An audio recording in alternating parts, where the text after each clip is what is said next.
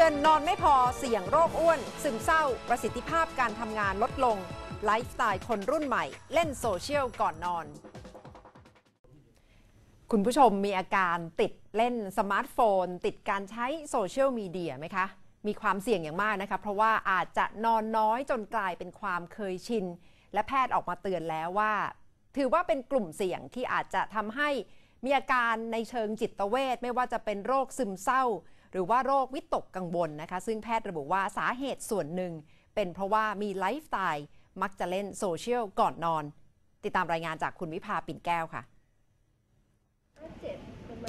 ภาพย้อนวัยสมัยทำงานปีแรก ๆ ดูจะแตกต่างกับวันนี้ ที่น้ำหนักตัวของเธอเพิ่มขึ้นชัดเจน สาเหตุหนึ่งคือการนอนไม่เป็นเวลา เพราะหน้าที่ที่รับผิดชอบ ต้องทำงานเข้ากะกลางคืน สลับกับกะกลางวัน จึงทำให้เธอน้ำหนักตัวเพิ่มขึ้นรวดเร็ว เช่นเดียวกับเพื่อนร่วมงานที่ประสบปัญหาเช่นเดียวกัน พอขึ้นไปทำงานคืนก็เท่าเดิม ก็ไม่ได้เพิ่มขึ้น ใช่ครับใช่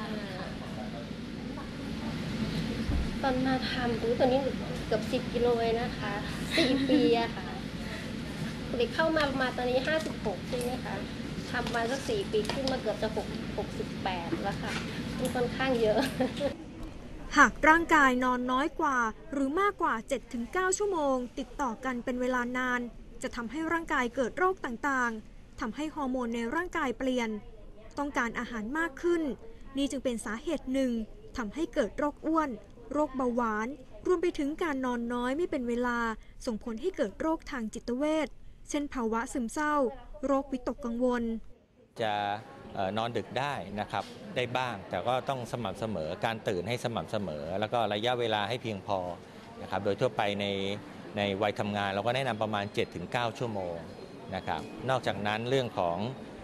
สิ่งที่เราจะต้องหลีกเลี่ยงนะครับเช่นเราทราบกันอยู่แล้วเรื่องคาเฟอีนนะจากกาแฟนะจะยังมีอย่างอื่นด้วย เช่นแอลกอฮอล์นะครับเรื่องเหล้าเบียร์เนี่ยเราเข้าใจว่า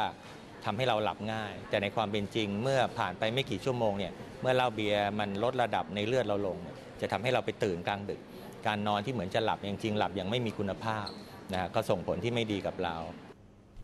การเล่นแท็บเล็ตหรือโทรศัพท์มือถือ เป็นกิจกรรมหนึ่งที่กลุ่มวัยรุ่นวัยทำงานส่วนหนึ่ง นิยมทำก่อนนอน สาเหตุนี้เป็นอันดับต้นๆที่ทำให้มีอาการนอนไม่หลับ หรือการเปิดไฟ เปิดเพลงกล่อมก่อนนอน จะทำให้นอนหลับไม่สนิท หากสะสมนานจะทำให้สมาธิการจดจำรวมไปถึงประสิทธิภาพการทำงานลดลงจากเดิม 3 เท่า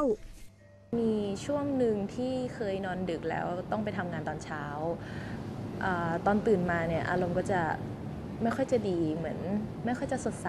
แล้วก็ตอนไปทำงานก็จะมีผลกระทบอย่างเห็นได้ชัดก็คือเหมือนคุยกับคนอื่นไม่ค่อยรู้เรื่อง อาจจะพูดรู้เรื่องแต่ว่า พอคนอื่นพูดมาอาจจะมีการประมวลในสมองช้านิดหน่อยว่าเอ๊ะเมื่อกี้มันหมายถึงอะไรนะ อาจจะคิดนานขึ้นอย่างเงี้ยค่ะ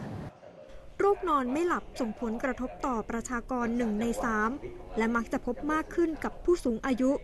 สามารถสังเกตอาการได้คือเข้านอนไปแล้ว 30 นาที หากนอนไม่หลับติดต่อกันหลายวัน เขาข่ายภาวะการนอนไม่หลับ แต่ว่าที่พวกเราอยากจะรณรงค์กันนี่ก็คือว่าพวกที่ควรจะหลับให้เป็นเวลาแต่ไม่ทำอะเช่นนะคะเอา iPad iPhone มาเล่น เปิดคอมพิวเตอร์ในห้องนอนนะคะเพราะเรารู้ว่าแสงต่างๆ เหล่านี้มันจะกระตุ้นทำให้นาฬิกาชีวิตมันแปรปรวน เพราะคนเราเวลาหลับเนี่ยต้องมืดเงียบ ในแต่ละคนเนี่ยควรจะพยายามรักษาวงจรวงจรการนอน ให้สม่ำเสมออย่างเช่น วันจันทร์ถึงศุกร์เรานอนเวลาไหนเสาร์อาทิตย์วันหยุดก็ควรจะนอนเวลานั้น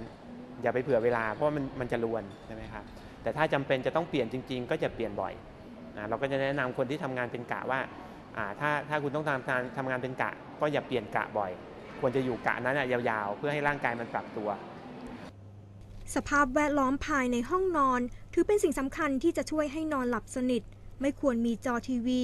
รวมทั้งควรหลีกเลี่ยงการออกกำลังกายก่อนนอน 2 ชั่วโมง และงดกินอาหารอย่างน้อย 4 ชั่วโมง ซึ่งการนอนที่เพียงพอ ถือเป็นสิ่งสำคัญที่จะช่วยให้ร่างกายมีสุขภาพดี แข็งแรง ปราศจากโรค ไม่แพ้กับการออกกำลังกายสม่ำเสมอ หรือการบริโภคอาหารที่ถูกสุขลักษณะ